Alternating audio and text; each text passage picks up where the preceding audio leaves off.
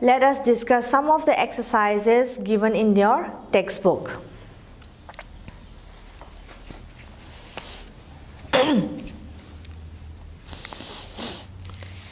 in page number 51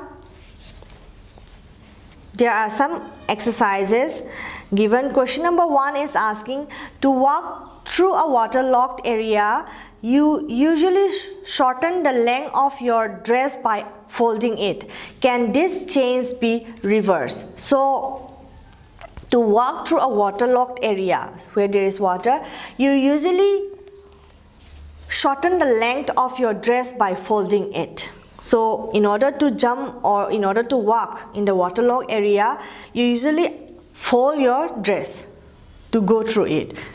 So is that folding of your dress a reversible change or an irreversible change?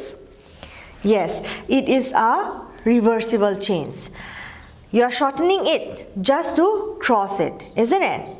So you can uh, unfold it, unfold your dress again and it will come back to its original shape isn't it so this is a reversible change then question number two is asking you accidentally dropped your favorite toy and broke it this is a change you did not want can this change be reversed now you accidentally dropped your favorite toy and broke it this is a change you did not want so obviously you will, you will not want your toy to, be, to get broken, isn't it? So that change, is that a reversible change or an irreversible change?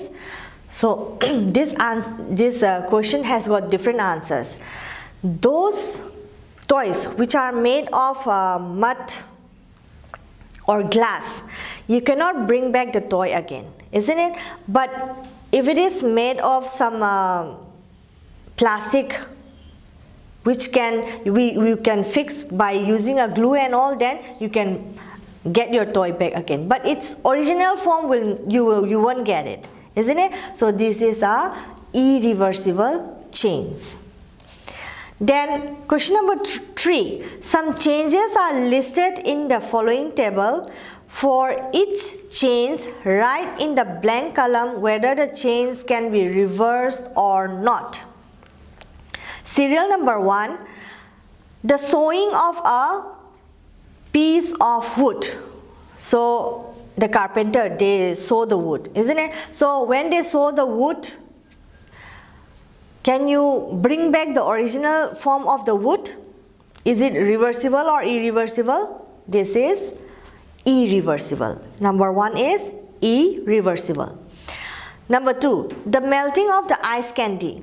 So as we have discussed, melting of ice. Once the ice turn into liquid, can you bring back the liquid into ice again? Yes, by cooling it again, isn't it? So this is reversible change. Then number three, dissolving sugar in water. Dissolving sugar in water forms a new solution. But can you reverse it back? In the previous chapter, we have learned separation of substances. So, so there we can separate sugar and water separately by evaporation and condensation, isn't it? So this is a reversible change. Number four question, the cooking of food.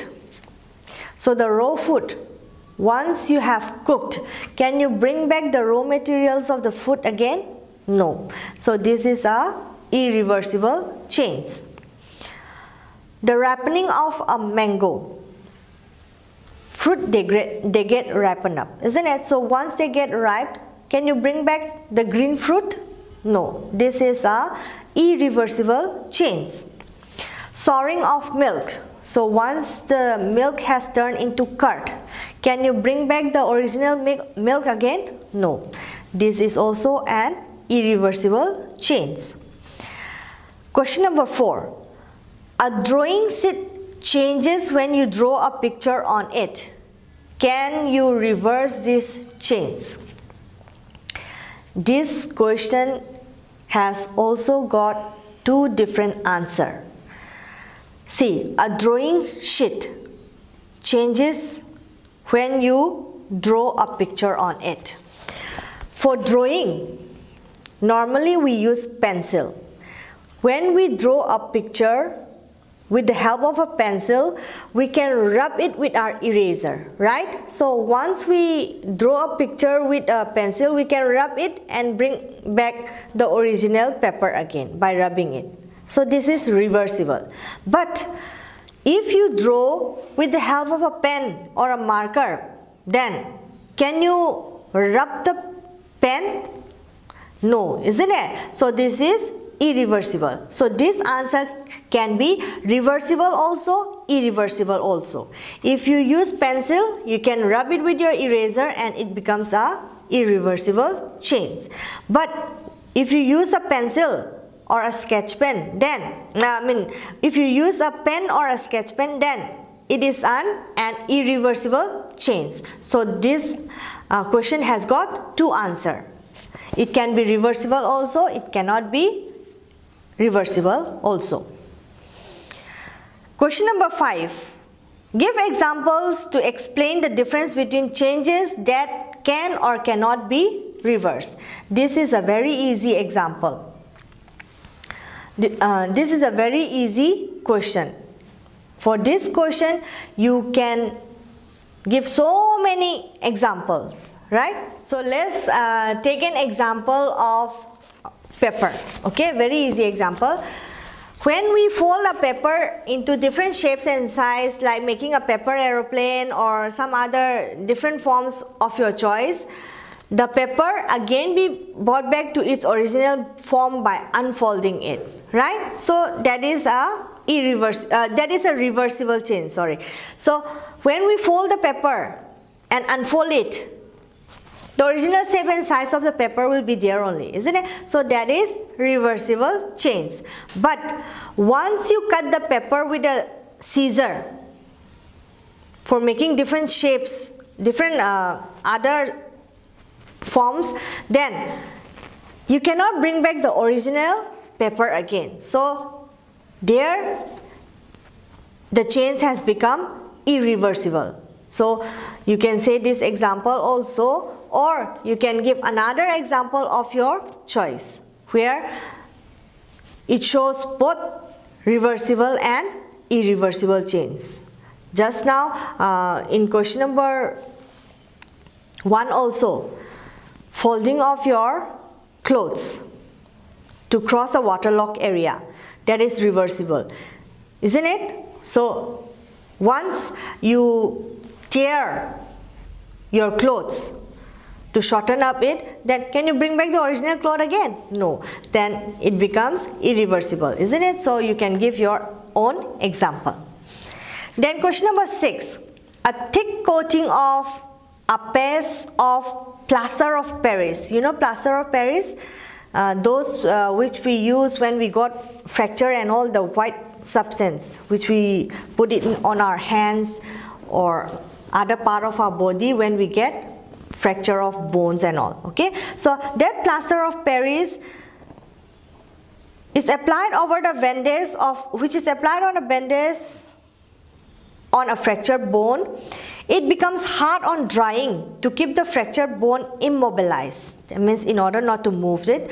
Can the change in POP be reversed? That is change in the plaster of Paris. Can it be reversed?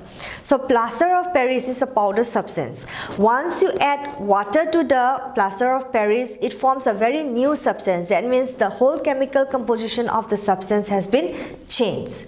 So you cannot bring back the original plaster of Paris powder again okay? So this change is irreversible. You cannot bring back the um, plaster of Paris into its original form. Once you add water to it. Understood? Then question number 7 that is the last question. A bag of cement lying in the open gets wet due to rain during the night. The next day the sun shines brightly. Do you think the changes which have occurred in the cement could be reversed. Cement which we use for um, building and constructions okay? So that cement is also a powder powder substance isn't it? So when you mix cement and water the cement gets hard uh, hardened up that is why we are using it for construction purpose isn't it? So that cement it has got wet due to rain the whole night. Then in the morning the next day the sun shines brightly. Then what do you think the cement what will happen to the cement? It will naturally harden up isn't it? So can you bring back the original cement again? No. So this change is an an irreversible change. You cannot bring back the original form of cement once it get it get uh, hardened up when you add water to it okay? So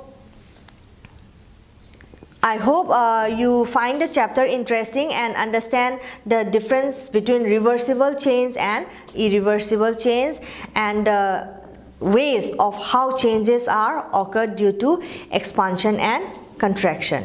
So uh, as we come to the end of this chapter, hope you find the chapter interesting.